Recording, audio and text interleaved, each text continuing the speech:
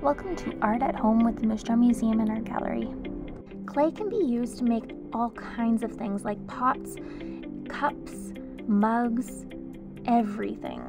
We have a lot of clay pieces in our latest exhibition, Fire in the Belly, made by women artists. Let's look at some of the work from this exhibition. The piece we're looking at here is made by Beth Hone.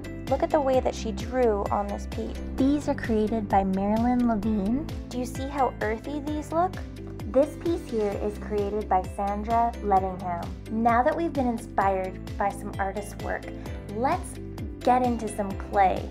All we need today is air dry clay, or Play-Doh, a container of water, and an old toothbrush. We are going to learn about the basics of making a pinch pot. Let's start by rolling our clay into a ball. You can roll it, you can squeeze it into a ball.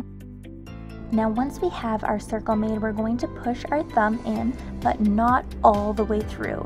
And then we're going to make almost a duck hand and squeeze all the way around, making our circle wider and wider and wider. Do you need a closer look? Let's do it again. Put your thumb in, push a hole in, and then you're going to go like a duck quacking all the way around, making your circle wider and wider and wider. Now that we have our shape, let's make the top nice and flat. So putting it upside down and moving it and pressing it onto our table. Now, once you do that, your shape might be lost a little bit. So let's reshape that and make it the shape that we want it to be.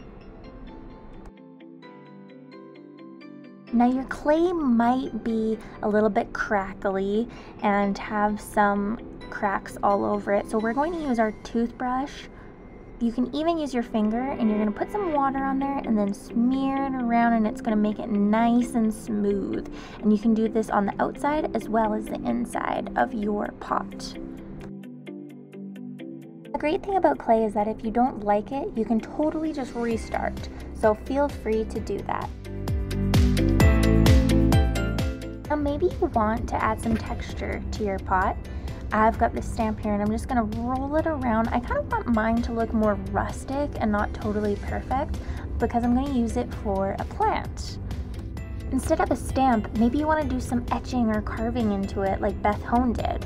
Maybe you want yours to be nice and smooth like Sandra Ledingham. If you're using Play-Doh, keep rolling your Play-Doh into a ball and keep making your own pinch pots. If you're using air dry clay, Take your clay and set it on the counter and let it dry out for a couple of days when you have the finished pinch pot that you want to keep.